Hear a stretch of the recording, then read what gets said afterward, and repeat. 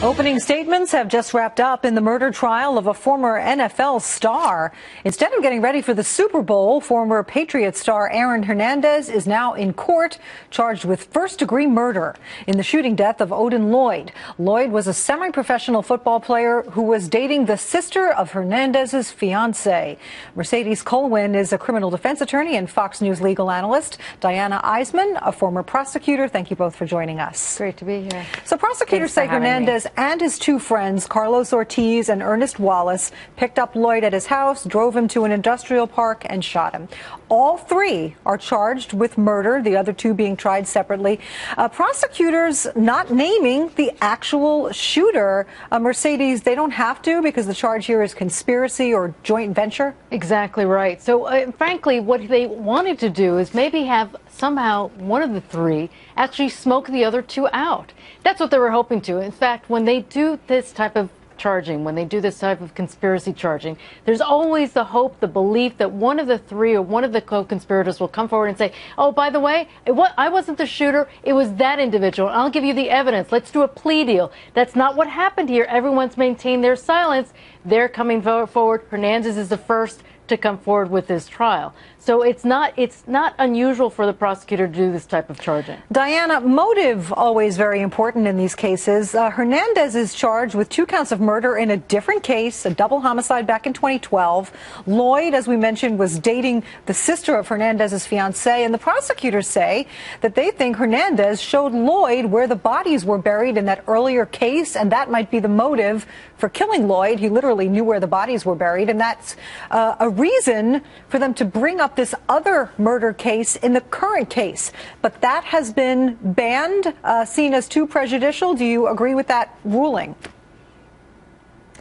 I do agree with that ruling. I think that evidence in another case that it, that is pending is irrelevant with respect to the charges here. Um, I can see why the defense would make that connection and argue that it is relevant, but I would also see why the judge would agree with the defense side.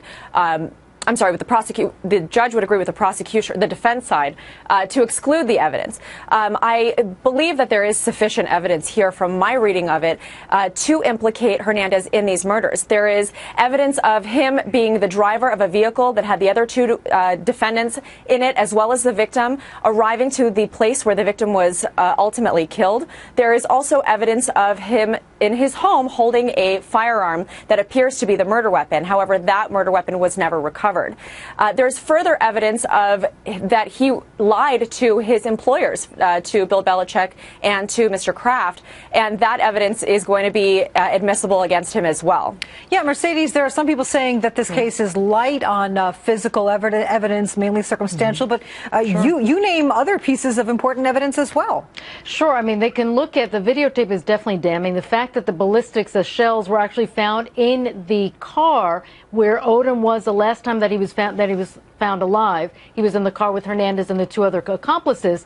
So those types of ballistics evidence come forward, but the defense is going to step forward and say, no gun, no case. You don't have a gun. So you have this videotape of the three of them walking with Odin, but where where's the videotape of who the shooter was? And where do you have the evidence that there was a, any of these men were shooters? Although there's been some talk that the defense are going to come forward and say that Hernandez was not the individual who pulled the trigger. It was the two accomplices, and they were the ones that were on drugs, on PCP. But all of this is sort of murky because the defense, until they hear the prosecution step forward and actually set forth their case, it's when they can do some of that last minute planning as to what the defense will be. But so far, they can come forward and try to defeat it, try to show that there's reasonable doubt one being, of course, there's no gun. Right. Diana, as Mercedes just mentioned, uh, there's word that these accomplices took PCP in the days before the murder. Prosecutors say this should not come up in Hernandez's trial. He's not alleged to have taken it.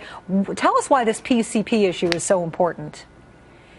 It's, it's really important because it's used to confuse the jury. Realistically, it has nothing to do with whether or not Hernandez was involved in these murders. And it's used as a defense tactic to confuse the jury, to say, well, these two individuals were on drugs, therefore they must have been the shooters. That doesn't make any sense. It's completely irrelevant, and I fully expect the judge to exclude it. It is going to be interesting to see if that has any impact on the trial of these other two, who we said are being tried separately. All right, Diana Eisman, Mercedes Colwin, thank you for joining us. Great to be here. Thanks. Thanks for having me.